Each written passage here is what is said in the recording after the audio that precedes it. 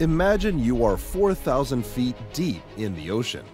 No air, no sunlight, just a thick layer of metal between you and the insane pressures of deep water. Submarines are one of the most fascinating machines in the world, and in this video, we explore the largest submarine ever built, the Russian Typhoon SSBN, the most powerful nuclear warship ever made. But that's the thing, when it came to nuclear submarines, the Soviets were always kinda hard to beat. Operating more than 245 nuclear submarines during the Cold War, that's more than all other navies of the world combined. So how big are we talking? The Typhoon measures 175 meters, 574 feet long. That's about as long as a rugby pitch. It's also 76 feet wide and almost 40 feet tall.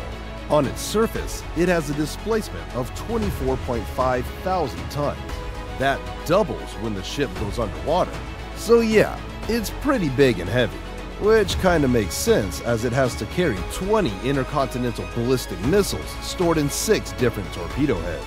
Traveling at speeds of up to 28 knots, or 32 miles per hour in land terms, on practically unlimited fuel, there is no need for Typhoon to reach land for a top-up. But tell you what makes this ship truly formidable. It's the advanced noise reduction technology the ship uses which makes the vessel so difficult, even impossible for enemy forces to detect. Spoiler alert, in the Cold War movie Hunting for Red October, a Russian submarine snuck its way into American waters at the height of the arms race. Truly some mind-boggling times.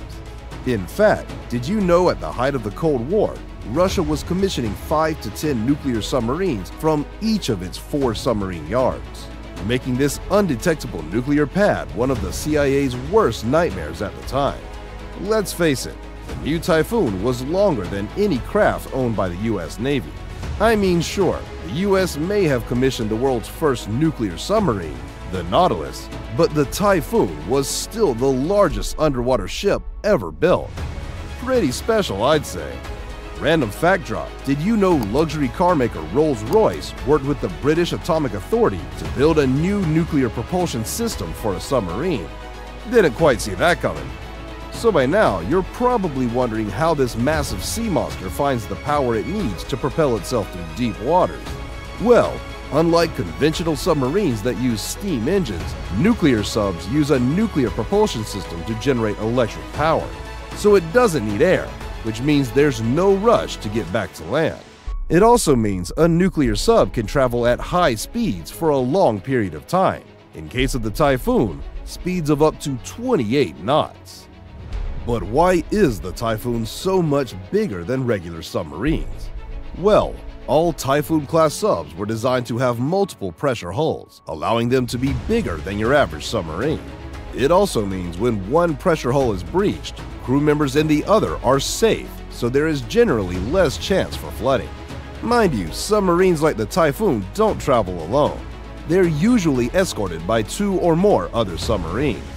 Amazing how despite being one of the most complicated structures built by man, the ship still manages to provide comfortable living for a 160 strong crew. Yup, that's all the peeps who have gladly volunteered to live underwater for months. Luckily for them, the Typhoon is also fitted with jacuzzis and a swimming pool. But hey, let's get real here. If you're inside one of these, you need to know that a lot could go wrong. Of course, there is always the looming risk of radioactive loss. What with all the nukes in there? But there is also a safety hazard associated with carrying liquid metal coolant, probably the most common cause of accidents in subs. Worst comes to worst, you can damage the nuclear reactors themselves during refueling as you lift the vessel heads. Let's be honest, the possibilities here are endless. And if there's anything the recent Titan tragedy proves, it's that even after 50 successful test dives in the Bahamas, one of the most advanced modern submersibles could still turn into debris in a matter of nanoseconds. To learn more about the Titan episode, check the video link below. Now, back to warships. Did you know only six countries in the world have nuclear submarines? But as of now, two more countries, Australia and Brazil, are also looking to develop their own. From a military perspective, a ship like the Typhoon is the most strategic weapon a country can have. Only six of these legendary Typhoon class submarines were ever built. At the time, building one Typhoon was equal to building two new Borei class submarines. So if you're going just by the numbers, it's clear that Russia wanted something extra, something truly formidable to project their naval power in the world, especially against the US. Only four of the original six subs were kept by the Russian army after the fall of the Soviet Union. Fun fact did you know the Typhoons are only known as Typhoons in the West?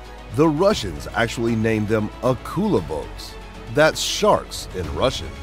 Anyway, gotta admit, from the K 3, the first Soviet nuclear sub that experienced a fire in the hydraulics, killing 39 sailors back in the 60s, to a modern nuclear powered submarine with enough cargo space to move 10,000 tons of oil under the polar ice and safely deliver them to Army tankers, Russian sailors have come a long way. To learn more about fascinating structures around the world, on land, sea, or space, make sure to hit subscribe so you never miss out.